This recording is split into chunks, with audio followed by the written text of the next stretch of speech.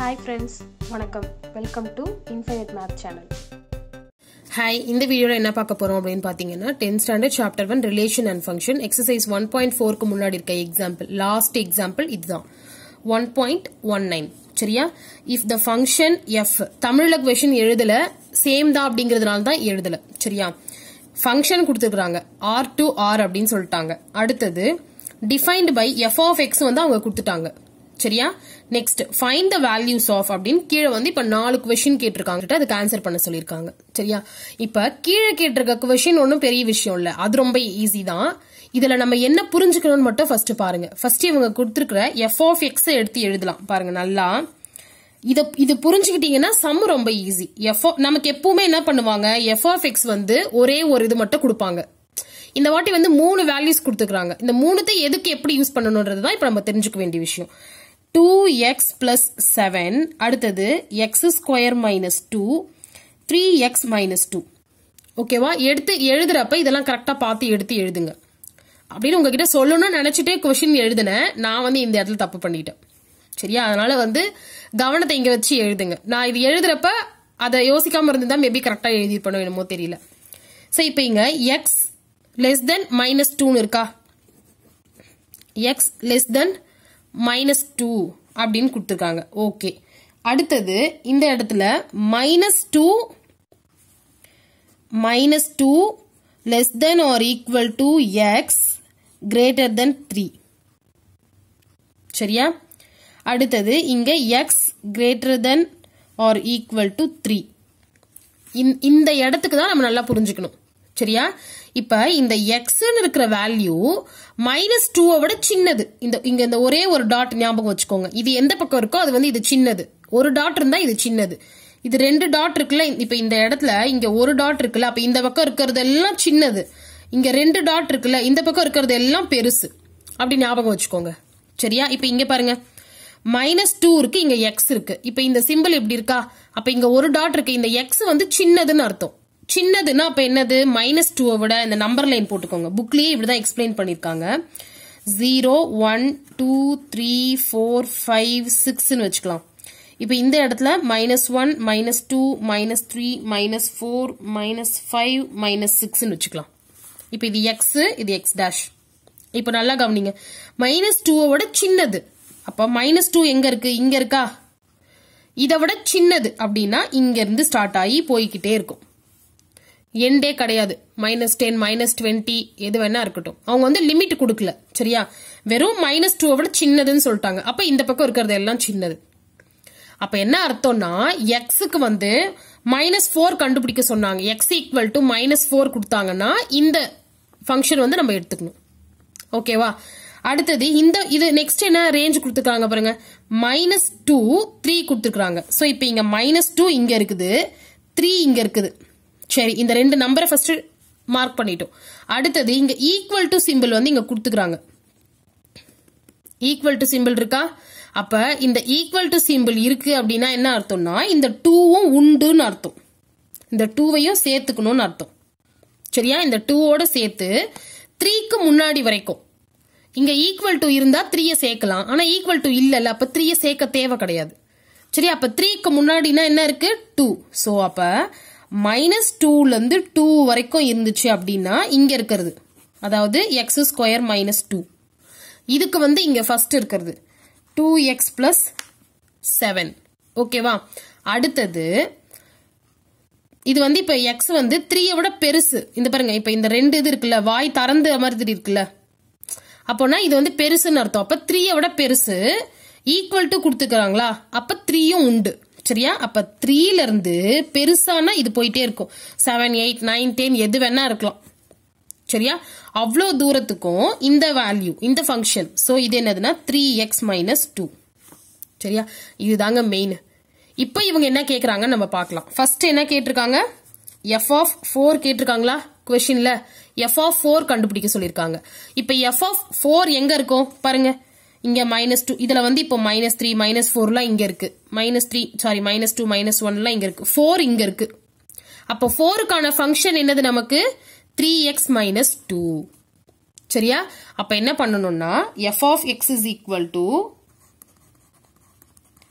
three X minus two ஏன் three X minus two மூணு இருக்கு. அதுல ஏன் த்ரீ எக்ஸ் மைனஸ் டூ எடுக்கிறோன்றத தெரிஞ்சுக்கணும். அவ்வளவுதான். இது இது புரிஞ்சிருச்சுன்னா சம் எல்லாம் ஈஸி தான். எது எது கேட்குறாங்களோ அது அதுக்கான ஃபங்க்ஷன் எடுத்து போட்டு சப்ஸ்டியூட் பண்ணி நம்ம ஆன்சர் கண்டுபிடிச்சிடலாம். ஸோ இப்போ நம்ம என்ன பண்ணிட்டோம்? த்ரீ எக்ஸ் மைனஸ் டூ எடுத்துக்கிட்டோம். ஏன்னா ஃபோர் கேட்டிருக்காங்க. ஃபோர் வந்து இங்கே தான் இருக்கு. அதுக்கான ஃபங்க்ஷன் வந்து எனக்கு த்ரீ எக்ஸ் மைனஸ் டூ தான். அதனால அது எடுத்தாச்சு. ஸோ இப்போ பாருங்க. F of four equal to three into four minus two X இருக்கிற இடத்துல என்ன போடணும்? ஃபோர்னு போடணும். ஸோ போட்டாச்சு. இப்போ three fours are twelve minus two equal to ten F of four கண்டுபிடிச்சிட்டோம். டென் அப்படின்னு சொல்லி. முடிஞ்சு போச்சு. ஓகேவா அடுத்தது செகண்ட் கொஸ்டின் என்ன கேட்டிருக்காங்கன்னா F of minus two F of minus two பார்க்கலாமா? இப்போ பாருங்க மைனஸ் டூ எங்க இருக்கு? இங்க இருக்கு. ஏன் அப்படின்னா இவங்க இந்த மைனஸ் டூக்கு ஈக்குவல் டு போட்டதுனால அதை வந்து நம்ம இந்த ஃபங்க்ஷனோட சேர்த்திருக்கோம். இது இது புரிஞ்சிருச்சுல? ஸோ இப்போ மைனஸ் டூ இங்க இருக்கு. மைனஸ் டூக்கான ஃபங்க்ஷன் என்னது நமக்கு? F of X equal to X square minus two சரியா? எக்ஸ் ஸ்கொயர் மைனஸ் டூ அப்போ F of minus two equal to minus two whole square minus two எக்ஸுக்கு பதிலாக மைனஸ் டூன்னு போடணும். இப்போ இதை ஸ்கொயர் பண்ணால் ஃபோர் இங்கே மைனஸ் டூ இருக்கு. அப்போ four minus two two so F of minus two நம்ம என்ன கண்டுபிடிச்சிட்டோம்? டூன்னு கண்டுபிடிச்சிட்டோம். அவ்வளோதாங்க ரொம்ப ரொம்ப ரொம்ப ஈஸியான சம் தான். இப்போ என்னன்னா இதில் நம்பர் லைன் வரைகிற மாதிரி இருந்துச்சு. ஒன் டூ த்ரீ தான் கொடுத்துருந்தாங்க. ஸோ நம்ம நம்பர் லைன் வச்சு வரைஞ்சிட்டோம். சம்டைம்ஸ் வேற ஏதாவது நம்பர்ஸ் கொடுத்தாங்கன்னா இது இல்லாம இதுலயே கண்டுபிடிக்க தெரியணும் நமக்கு. சரியா? அதை ஞாபகம் வச்சுக்கோங்க. இப்போ நான் வந்து என்ன பண்ணுவேன் அப்படின்னா இப்போ இங்க மைனஸ் டூ கொடுத்துக்கிறாங்களா? ஓகே இங்க பாப்பேன் ஃபர்ஸ்ட் மைனஸ் டூவை விட சின்னது தான். அப்போ இதுல மைனஸ் டூ இல்லை. அடுத்து இங்க. மைனஸ் டூக்கு ஈக்குவல் டு கொடுத்துருக்காங்க அப்ப இது இங்க மைனஸ் டூ இருக்குது. அப்ப இந்த ஃபங்க்ஷன் தான் எடுக்கணும் அப்படின்னு சொல்லி நான் எடுப்பேன். இப்ப இது வந்து உங்களுக்கு புரிஞ்சுக்கிறதுக்காக இது. இது போட்டு போட முடியும்னா போடுங்க. இது போட்டு தான் போடணும். ஈஸியா இருக்கணும்னா. நான் ஏன் இதை சொல்றேன்னா சப்போஸ் டுவெண்ட்டி தேர்ட்டி ஃபைவ்லாம் இங்க ரேஞ்ச் கொடுத்தாங்கன்னா மோஸ்ட்லி கொடுக்க மாட்டாங்க. கொடுத்தாங்க அப்படின்னா இது இல்லைனாலும் நமக்கு போட தெரியணும். சரியா? சும்மா அது ஒரு ஞாபகமா மூளையில வச்சுக்கோங்களேன். தேவைப்படுறப்ப யூஸ் பண்ணிக்கோங்க. தேவைப்படலன்னா விட்டுடுங்க. பிரச்சனை இல்லை. ஸோ இப்போ அடுத்தது தேர்ட் பார்க்கலாம். F of four plus two F of one இப்போ எஃப் ஆஃப் ஃபோர் நம்ம இங்கே கண்டுபிடிச்சிட்டோம். ஸோ அது இருக்கு. எஃப் ஆஃப் ஒன் வேணுமா இப்போ? ஸோ இப்போ எஃப் ஆஃப் ஒன் கண்டுபிடிக்கணும்னா ஒன் எங்கே இருக்கு பாருங்க? இங்கே இருக்கு. அப்போ ஒன்னுக்கான ஃபங்க்ஷன் வந்து X square minus two so இப்போ கண்டுபிடிக்கலாமா? F of X equal to X square minus two இதில் என்ன பண்ண போகிறேன் நான்? எஃப் ஆஃப் ஒன் கண்டுபிடிக்க போகிறேன் எக்ஸ் இருக்கிற இடத்துல ஒன் போட்டா அப்போ one square minus two one minus two minus one so F of one equal to minus one அப்படின்னு கண்டுபிடிச்சிட்டேன். இப்போ இதில் சப்ஸ்டியூட் பண்ணிக்கலாமா?